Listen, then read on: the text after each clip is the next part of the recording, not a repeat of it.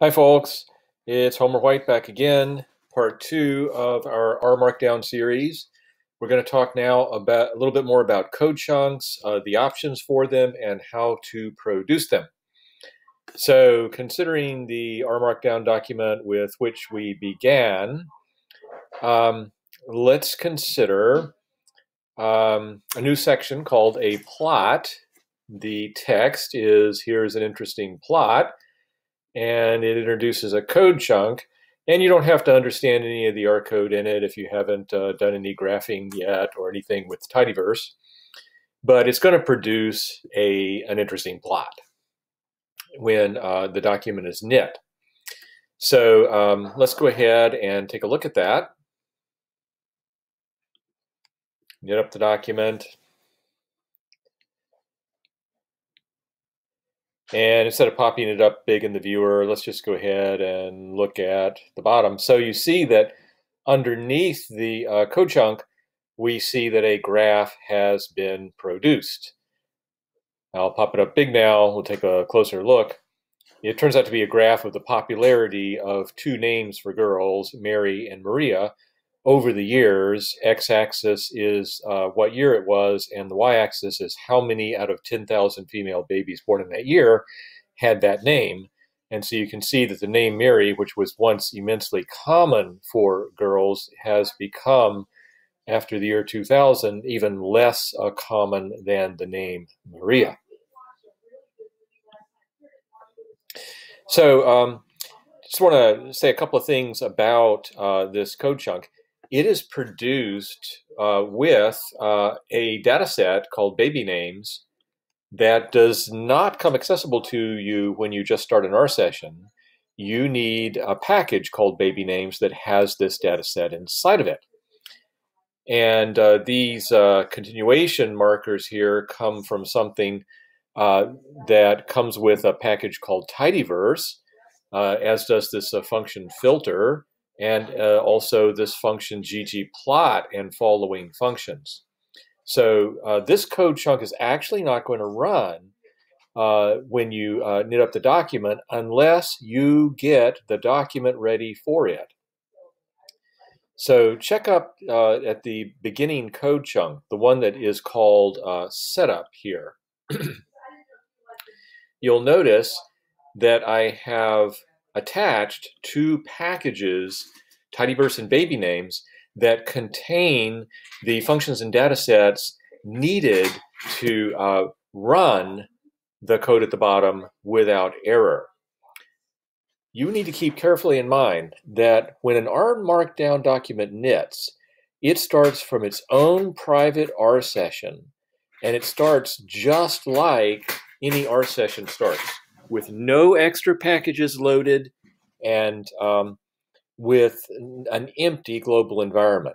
So you have to teach the R Markdown document everything that you want it to do.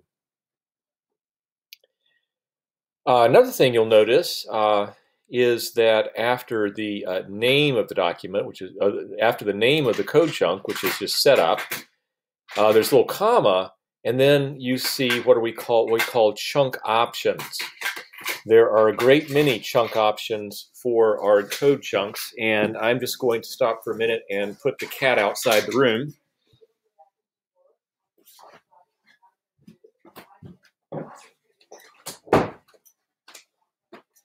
Okay, cat has been evicted.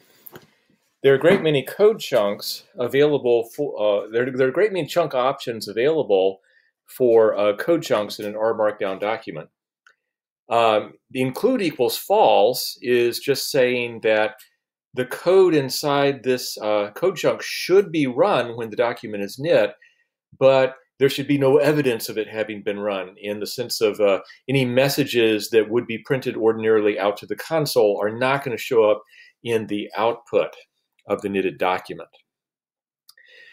Um, you'll see that in this setup chunk, there's actually a, a call to a function called opts chunk dollar sign set uh, that comes from the knitr package. And uh, what this does is it sets some uh, chunk options for all subsequent code chunks. Uh, error equals true means that even if the R code inside a chunk has an error, then the document will still knit, but it'll print out the error message underneath the code chunk. Fig.align as center is what made the graph show up centered over here uh, within the available width. Out.width is 90%. You could set any percent you want, and the smaller you set the percentage, the smaller the graph will be warning equal false, message equal false. If any of your R code uh, would produce warnings or messages to the console, they will not show up in the output when the document is knitted. Size is small just makes any math you make a little bit smaller than regular text.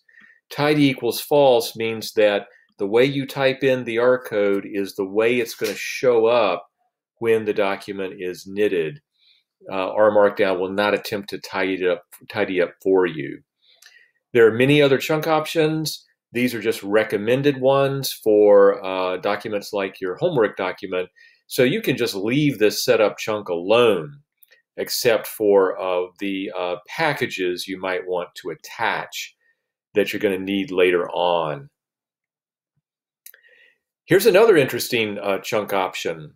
Sometimes you want to show a result to the uh, user with to, to the reader without having the R code be seen. So you could say echo equals false to do that. Let's knit this up again.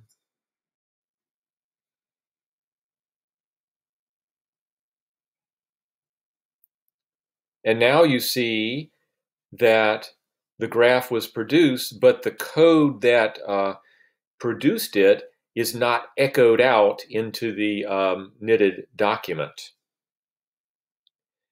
There is another chunk option that sometimes people use, eval equal false. So you might do this if you just want to show some code, but you don't need it to run. So when we knit this up, let's see what happens.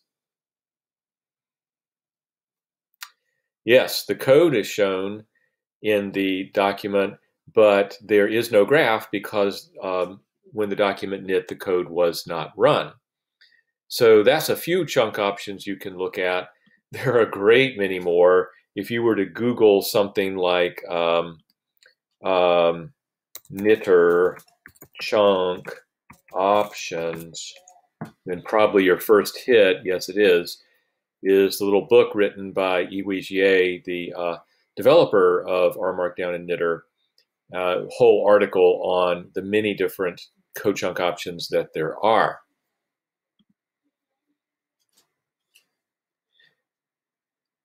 Let me uh, say one more thing about code chunks. Uh, suppose you wanted to make a new one, uh, a new bit of code I write here in text, do you have to laboriously type those backticks and then the R brace, you know, and then, you know, the more backticks before you start entering code?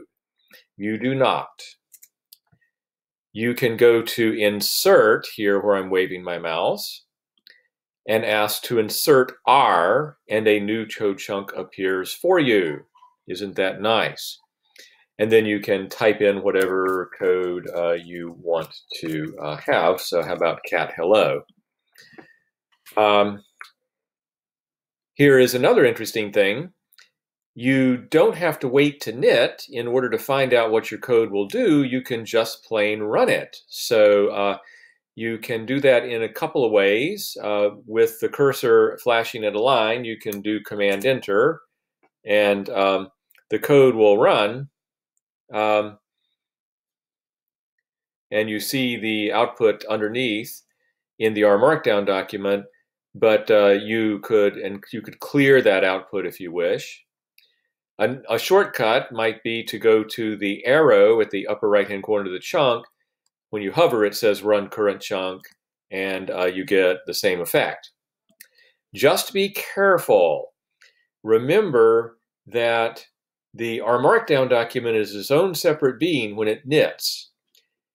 When you're running code chunks in an R Markdown document in this way, you're relying on the current state of your R session and what's in your global environment.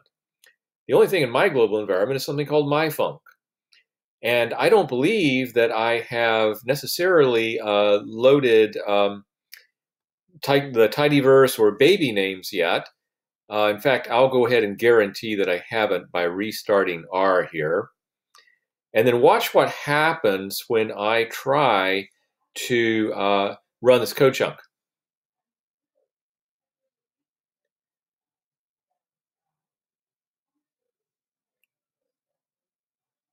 Oh, hmm. I'm sorry. Uh, gee, uh, the R Markdown document is actually incredibly smart. Uh, RStudio is incredibly smart, and I forgot about this. Uh, it detected that the active document was this R Markdown document that had these two library commands in it. So when it restarted the R session, it uh, did uh, it actually uh, libraried those two uh, packages.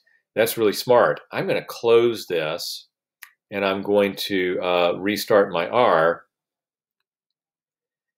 And then I'm going to open this package again to show you the error that can occur. Um, alrighty, now let's say that I were to rerun that pack, rerun that chunk. Error and uh, we couldn't find this little uh, pipe function here, and that's because the tidyverse package uh, has not been attached to my R session. So if you're going to be experimenting with your code as you go along, then you need to make sure that in your R session you attach the packages you need, and you need to make sure that if you want to, you know, if you want to run a function like minicat, you're going to get an error unless you run the definition of minicat. Then you can do minicat. See?